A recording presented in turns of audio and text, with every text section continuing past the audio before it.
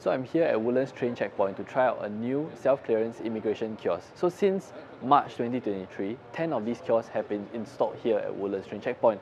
So what's so special about the kiosks is that they are actually the first of its kind um, to be installed at Singapore's checkpoints. And in terms of clearance time, uh, the clearance time for each kiosk is typically about 24 seconds as compared to 45 seconds for a manual counter.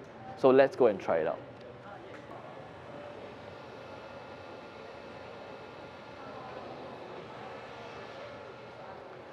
Okay, so this is one of the kiosks. We're gonna try it out. So first, passport.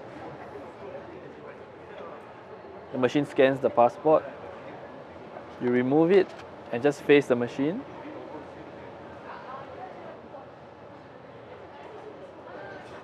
Okay, so you're good to go.